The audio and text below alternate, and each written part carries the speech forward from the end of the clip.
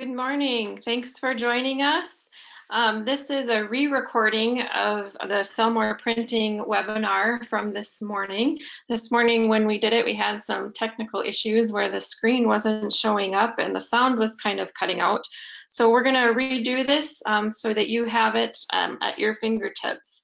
This is episode two of our new biweekly webinar series aimed at helping you grow your print business using today's best marketing tactics. Um, if you're not familiar with who's speaking, my name is Rachel Neese. I am the content marketing manager here at Marketing Ideas for Printers. My job is really twofold. One is to make sure you have great marketing content for your website, social media, direct mail, those types of things. And then the other part of my job is also working with and handling our own in-house marketing um, here at Marketing Ideas for Printers. So I do a lot of behind the scenes work with writing and editing and content and project management, that type of stuff. So I am used to being able to write out what I'm going to say, then rewrite it, then edit it, then write it some more. So this whole has to sound good the first time thing is um, pretty new to me. So bear with me. Uh, before we get started, I have a couple of announcements that um, I want to go over with you. First of all, um, this Sell More Printing webinar happens every other Wednesday at 11 a.m. Central Standard Time. We try to keep these webinars right around the 30 minute mark um, to be respectful of your time, so keep an eye out for those. Also, we have a This Week in Odyssey webinar those webinars um, occur on the alternate Wednesdays of this webinar, same time, 11 a.m. And those webinars specifically focus on Odyssey, which is our print MIS solution here at Marketing Ideas for Printers. And they simply go over release notes, feature updates, bug fixes, anything and everything you would want to know about Odyssey. So if you're a current subscriber to Odyssey or you're just curious um, about that MIS solution, be sure to check out that Odyssey webinar. Um, if you keep an eye out on your email, you will see a email coming out with some registration links for either of those webinars. So keep an eye out for those if you're interested in getting involved with those webinars. Okay, this week, we're going to talk about content because that's what I love. Um, last time, our last webinar, Dave Scott talked about creating engagement online, and he specifically talked about creating engagement with Facebook through likes, comments, and shares, that type of thing. But this time, I kind of wanted to back up a little bit and look at the content that you're posting to begin with because no one is going to engage content that's not well engaging. So this week we're going to look at how you can start a content process to ensure that your content returns just the kind of engagement that you're looking for. We're going to look at the following. We're going to go through some simple ways you can get into the mindset of your customers. We're going to kind of go through how you can find topic ideas. Also, creating and implementing an actual content process. And then since I work in marketing, I got to throw in a bonus there. So if you stick around to the end, you're also going to get tips for navigating the content desert. What you can do when you just are going through a dry spell and have no idea what kind of content to post, what to post, you're just plumb out of ideas. So let's get started. First things first, we're going to look at getting into the minds of your customers. Content has to hold the attention of your audience. It just does. That means your content needs to be about things that are important and relevant to them, not to you. Obviously, you want content that's relevant to you as well, but your focus is making content relevant to your print buyer. To do that, you have to step back and really focus on how you can get into the mind of your customer. And here are some tips on how you can do that. My recommendation is the first thing you do is you have everyone who will be touching your content creation read this book. Um, this book is called They Ask, You Answer by Marcus Sheridan. And Marcus's marketing success really came from he was trying to sell in-ground swimming pools back during the recession when people didn't have money to spend on frivolous things like swimming pools. So what he did is he just took um, questions that he knew people had about swimming pools, and he answered every question he could possibly think of, and had those questions available, you know, to his audience. So if you Googled, um, you know, what's the best type of in-ground swimming pool for me?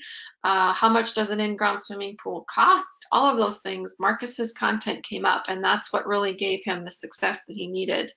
So um, I've just picked out a few of the nuggets from that book, but there are a ton of great nuggets in there. So that's why I really recommend your whole team read that. First, um, become world-class listeners and teachers. Really tune in and listen to what your audience is saying. What are your print buyers asking? I mean, this is where you're kind of thinking, how many times has my customer service team heard that? You know, those types of things. What are those questions that are being asked? And then focus on being the teacher. You know, you're not selling, you're being a teacher. How can you answer their questions and guide them so that they get what they're looking for? Next, be the first to address questions your customers have. Um, obviously, other printers are going to cover the same questions that you're covering. See if you can do a new spin on it, those types of things. But be the first. This is a race you kind of want to enter. Don't shy away from it, jump into it, and be the first to answer the questions that your customers have. Lastly, don't shy away from the tough questions. You want to address the elephants in the room, even so far as to say, we may not be the best fit if, you know, be willing to say when you're not the best fit. Remember, your customers and prospects aren't looking to be sold to. Okay, if they ask why they should pay more for a printing job with you, be sure to tell them the truth.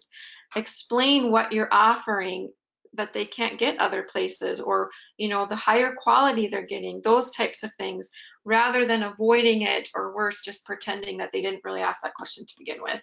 Um, so don't shy away from that and you'll have you'll have real success if you if you do that um, oh, one other thing I wanted to mention with that, people are, you'll be surprised at how many people are willing to pay more for something if they just understand why. If they understand the value of what they're getting, price isn't going to have that much of an impact on them. So don't don't be afraid to say we charge this much and this is why. You know, this is what you're getting with this. So don't shy away from that. Be sure just to address that with your content. Okay, moving on. You can also look at getting into the minds of your customers from a little different angle, as in, how can you answer their questions in a way that will really make a connection and hit home with them? And that has to do with the quality of content that you're giving them. You know, they're not looking for one word answers. They're looking for quality content that answers their question. So these tips that you see on the screen, these are kind of my holy trinity of content creation. I have these posted above my desk and I frequently refer to them and check my content against. The first one there is make your reader the hero and you be the guide. That's based on Donald Miller's philosophy in building a story brand. Your goal is to position yourself as a helpful resource, not necessarily the hero of the story. So look at that when you're creating your content. If you, if those roles reverse and you start talking all about you, you're definitely going to notice a lack of engagement in your content. So that's the first thing that you can look at if you're seeing that drop off of engagement. Is this about me or is this about them, them being the hero? Um, secondly, follow a PAS formula. This is a simple formula put out by Copyblogger and I love it. So it's something that I run all my content through.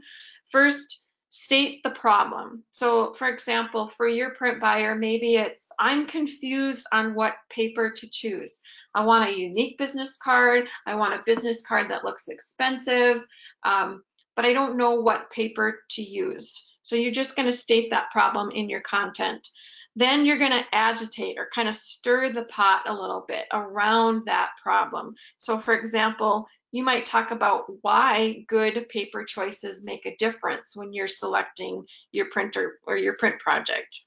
And then lastly there, you're going to solve the problem. But remember, you're going to solve it as the guide, not as the hero. So what's the solution you're offering, but then kind of put that in a way that they get to choose that they're the they're ultimately the hero. So maybe check out this infographic on which paper is best for which type of project those types of things.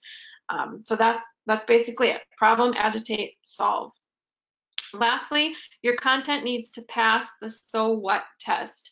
The best way I can describe this is I have three teenagers, and oftentimes I have found something super cool to me online, and I've said to my oldest, you know, JJ, I want you to come check this out. Read this thing I found online.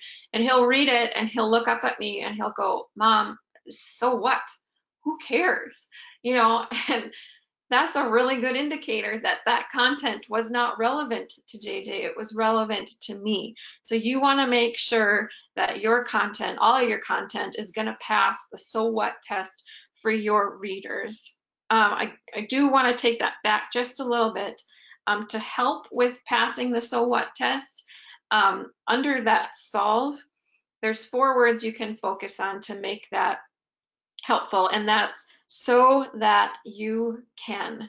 Okay, you're going to state the benefit to them, and that's what's a big thing that's going to help solve the so what um, issue. So, for example, let's say um, let's say that you sell wide format printing, and you're right now your content says we sell wide format printing.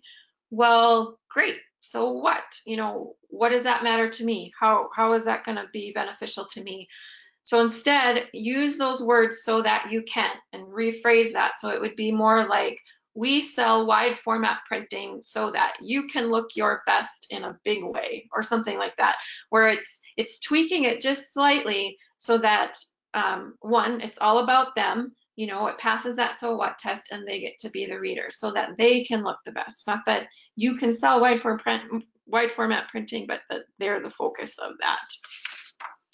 Okay, I know that's kind of a lot to digest and I'm talking fast to try and stay within this 30 minute mark. Um, so hopefully you can, later you can go back and pause this and, you know, rewind it or whatever. Um, next, the fact is pretty websites don't sell things, words sell things. And if we haven't clarified our message, our customers won't listen. This is another great quote by Donald Miller. Um, Building a Story Brand would be another excellent book for your team to read to really um, get a grasp on how to do good content. You know, Marketing Ideas for Printers also sells websites, and you bet we do our best to make those websites look pretty. But the reality is that content and having a clear message that's relevant to your print buyers are going to do you leaps and bounds better than just a website that looks good and is pretty.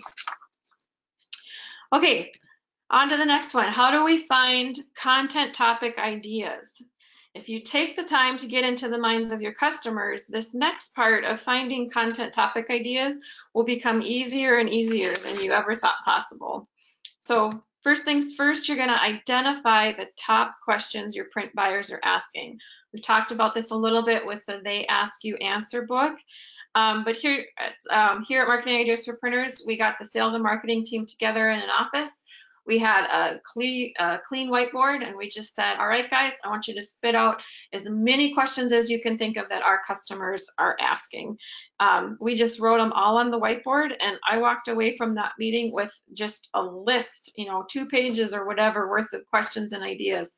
And now when we're looking to sit down and determine what you know content we want to cover what blog ideas we want to do i can refer to that list of just simple questions that our print buyers are asking sorry, printers are asking for. Um, you can take that list and then turn it into pieces of content. Here's some examples for you guys. So maybe your customers are asking, how can I get more engagement from my direct mail? Well, that might be X tips to get more engagement from your direct mail campaign. How do I write compelling copy for my print marketing pieces? That could be create compelling copy in a snap or X ways to create. And then lastly, here's just another idea. How do I make my business trade show a success? Well, X steps to maximize your trade show with print, okay? Um, Another tip here, X is kind of my favorite letter in this case. I don't put a number on there first. I start with the X because if there's only three really good relevant tips to maximize your trade show with print, I only want to put three really good ones than 10 not so good ones. Um, so start with that, start with that in mind and work from that. Oh, another thing, odd numbers like that, like nine steps or three steps, will always be more successful than even numbers. I'm not sure why that is. It just seems to work that way. Um, topics, you know, those questions, think of those questions as things that your print buyers are searching for online. So kind of to expand on that a little bit more, what are your print buyers Googling when they go to sit down to order printing or want to start a printing project? So let's say I'm a small business owner and I want to create some business cards. What are the things that I would Google?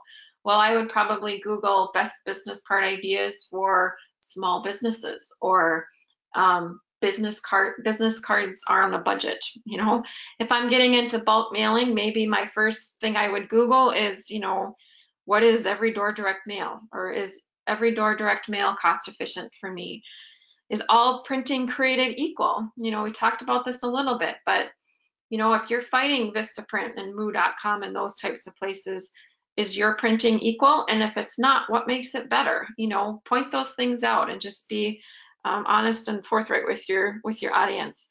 How to avoid print marketing mistakes. I certainly don't want to get started in this process and screw it up. So I might just Google what things do I need to avoid.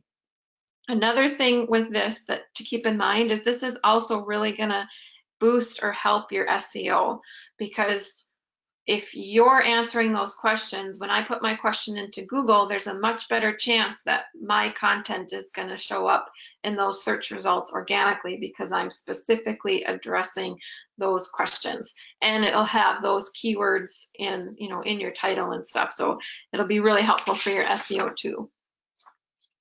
Okay, so now we're going to move on to creating the content process. This is a little bit more of the tricky part because if you walk away from that brainstorming session with a list of blog ideas you do nothing with, well, that's not going to be very helpful. So you have to take your list and develop an actual content process. So here's how you can do that.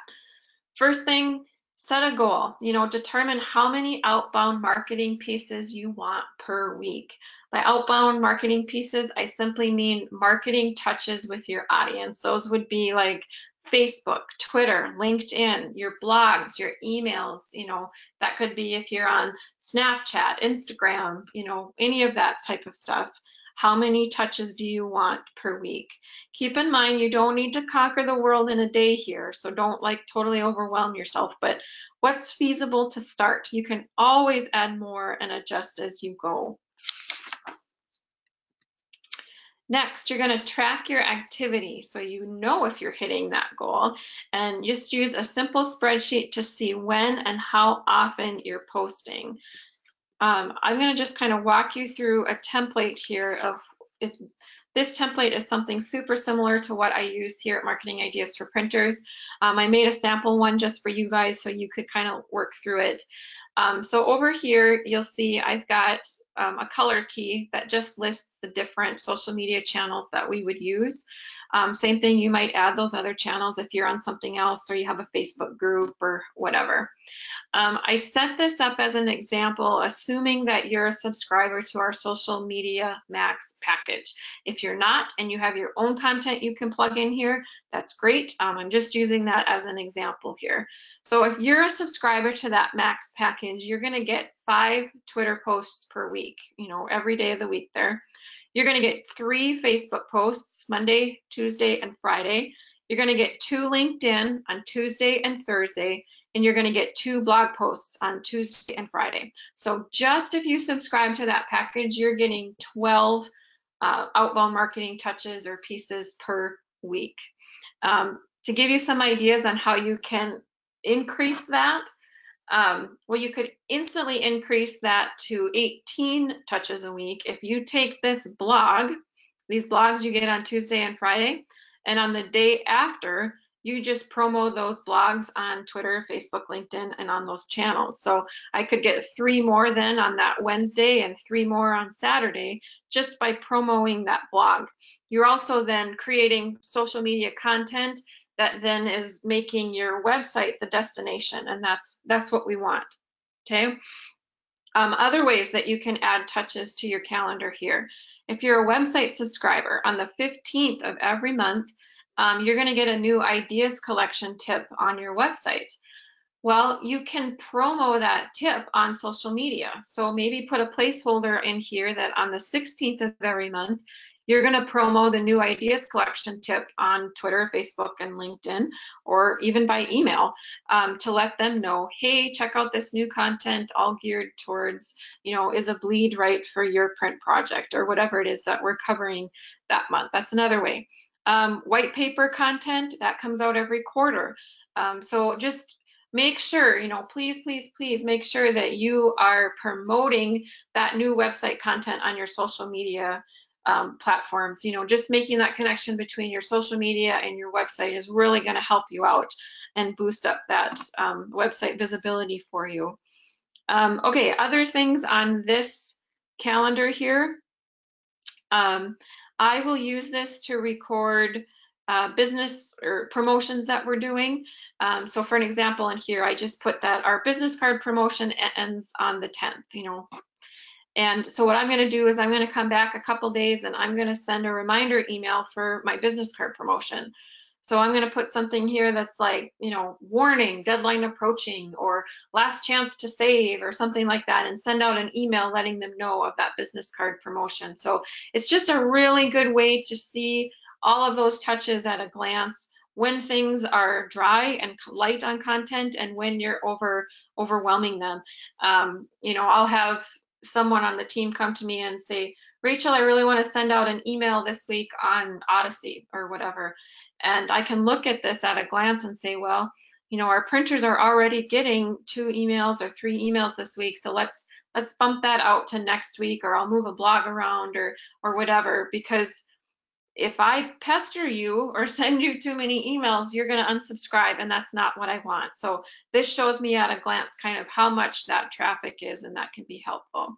Tomorrow, I will send out an email with this recording of this webinar as well as the download for this um, content calendar. It's set up where there's, you know, each sheet is a different month of the year, and then you can just add in your own dates and put in, you know, let it let it work for you. Take our logo out, put your your logo in, that kind of thing. Um, so look for that tomorrow through your email. Okay, so let's say that you want to increase or add just one blog per month. That's your goal to get started.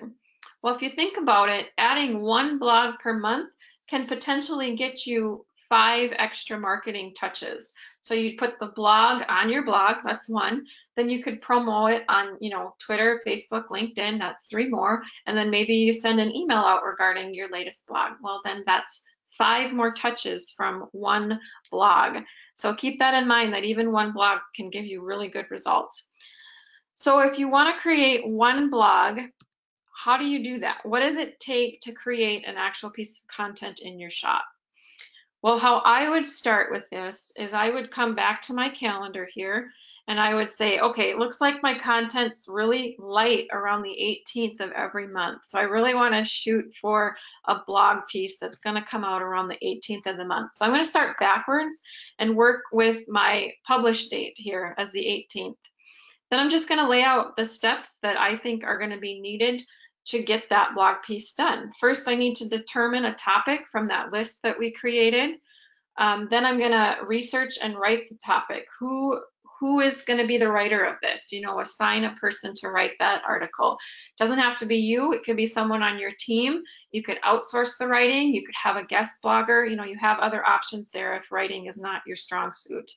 Then who's going to refine the writing? Um, you need someone who can edit for grammar and spelling and you know sent basic sentence structure, those types of things. A really good idea would be to print it out and leave it in your employee lunchroom. Have your employees look at it. You know, use the team that you have there right at your fingertips.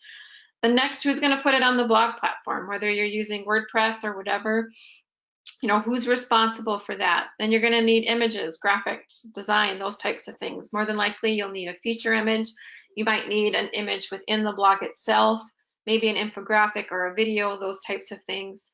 And then finally, you're going to try and hit that 18th of the month publish date and then maybe promote it on the 19th. And lastly, and probably most importantly, you're going to record it on that calendar um, to see at a glance exactly when and what kind of content you're doing. From there, it's kind of just a simple rinse and repeat. Um, getting in, you know, it takes two weeks to write, it takes one week for design or whatever, and however you need to, you know, space that out. Um, remember, the idea is just get started. If it takes you two months to do a blog and your schedule is two months, that's okay. There's no like blog police that are going to come after you for not doing it, you know, more than once a month or whatever. So that's kind of a really quick run through of um, how I create content here at Marketing Ideas for Printers and what can be successful to you to hopefully help with your content process. Um, since you stuck around to the end here, we got some bonus tips for you on how you can navigate that content drought, those times when you're just light on content and can't think of anything. So there's really one main tip kind of broken down into three sections, and that is save the good stuff that you already have. Start an evergreen content library. This is stuff that's going to be timeless. You know, you're not going to repost a you know, Halloween marketing ideas blog piece in March, you know, but those pieces that we talked about, about, you know, unique business card ideas or what paper is right for me, those types of things, that kind of content is timeless and can be used over and over and over again. So, you know, set those aside in something that is timeless for you. Same thing from the content with us. If you saw something, um, if you're subscribing to our services and saw one that you really like that could be reused, um, you know, set that aside too. Keep an eye on the dates though, because um, you know, content gets old on social media pretty quick. So make sure you keep an eye on the dates. Um, next, think beyond print. You don't have to talk printing all the time. So in fact, it's probably better if you don't. Um, you know, post content that's relevant to your buyer. And think of it this way, like if most of them are print owners like yourself, what are the types of things you're interested in on social media? Um, you know, work-life balance, retirement, growth, that kind of thing. It doesn't have to be super complicated. It just needs to be relevant to your your audience. Um, Ann Handley has a really good quote here. She says, be specific enough to be believable and universal enough to be relevant. That's your goal. And ultimately, your goal is to just get your name in front of them on things that they're interested. So they're going to think of you and know your stuff and know that you're an industry leader just because of the useful tips and articles that they've seen from you on social media. So you're not trying to necessarily convert them into a sale. You're just trying to get your name out there on relevant things to them. Lastly, repurpose or expand existing content. If you remember in the last webinar, Dave talked about that your content is really only getting to 1 to 5% of your audience at any given time. So keep in mind that you can post things more than once or repurpose and expand on content that you know you did well previously. Um, I'm not going to give a, I won't go into the content services we offer, but if a printer asks me what social media marketing package they should subscribe to, I always recommend the Max package. And it's not because it's the most expensive. No, the reason I recommend that one is because it includes two blog pieces a week. That means I've got two blog ideas and I have got a consistent growing library of blog ideas for any time in the future that I might want to repurpose or expand that content. That content is yours. So if you see a blog post come through that you're like, man, this is a really good topic, but I could do this way better, go for it. You know, take that piece of content, cut it up, mutilate it, tweak it to how it fits best for your business. But just by subscribing to that you know, blog option through the Max package, you have a steady stream of ideas coming in for you twice a week, every week, all the time. You don't have to worry about it. So that's kind of, I'm rounding the bend here, coming to the end. Um, I love how my pastor always leaves, he always ends a service with something like, if you only remember one thing from today, remember this. So I did the same thing. If you only remember one thing about content, remember this quote from Zig Ziglar. He says, stop selling and start helping. That's your goal here. People will buy and return to people that they find helpful. If you went out of your way to help your audience, to educate them and to really guide them through something, they're going to come back to you. They're not going to come back to someone who's just constantly throwing sales, you know, spiels in their face. So keep that in mind. Your ultimate goal with any type of content is simply to be helpful. If you focus on that, you're going to be just fine with whatever content you do. All right, well, we made it to the end here. So Thanks so much for joining us for tips to help you sell more printing. Um, I said earlier I had to go really, really fast, so I didn't really have time for questions or comments. But if you do have a question or comment, you can feel free to reach out to us. The number there is 701 241 9204, or you can email me specifically at rachel.neese at mi4p.com. Keep an eye out. In a couple weeks, we'll have our next webinar on Wednesday, November 21st at 11 a.m. Central Standard Time. So keep a lookout for that, and we hope to see you again in the, next in the next few weeks. Thanks so much.